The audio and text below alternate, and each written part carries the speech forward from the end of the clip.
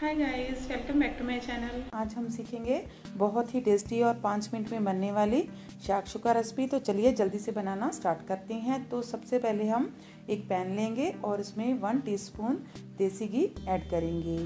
अब इसमें हम half teaspoon cumin seed और दो से तीन बारीक कटे हुए अनियंस ऐड करेंगे और इसको अच्छे से चलाते हुए पका लेंगे।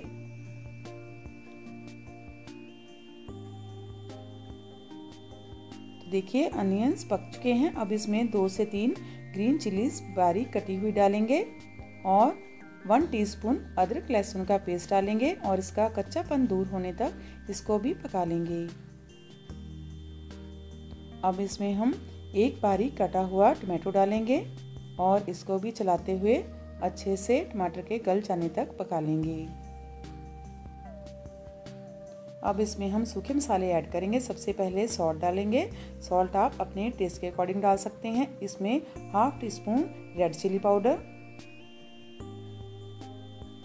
one four teaspoon turmeric powder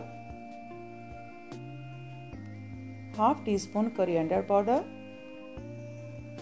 half teaspoon jeera powder half teaspoon Kashmiri red chili powder अब इसको चलाते हुए अच्छे से सभी मसालों को पका लेंगे। तो देखिए, हमारे मसाले पक चुके हैं। अब हम ऐसे इसके सेंटर में छोटा सा होल करेंगे और एग को इस तरह से इसमें हम डाल देंगे। तो ऐसे ही हम चार से पाँच एग होल करते हुए चारों तरफ़ इसके डाल देंगे। अब इसको ढककर हम लो फ्लेम पर पाँच मिनट के लिए पका लेंगे। तो पाँच मिनट हो चुके हैं तो लीजिए हमारा शाक शुका बनकर रेडी है।